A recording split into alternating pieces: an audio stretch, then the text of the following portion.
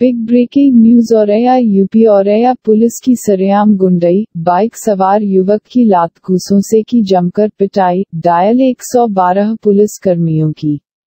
गुंडई का वीडियो हुआ वायरल, मामूली कहासुनी को लेकर पुलिस कर्मियों ने युवक को पीटा, अछलदा थाना क्षेत्र के रेलवे क्रॉसिंग के पास की घटना।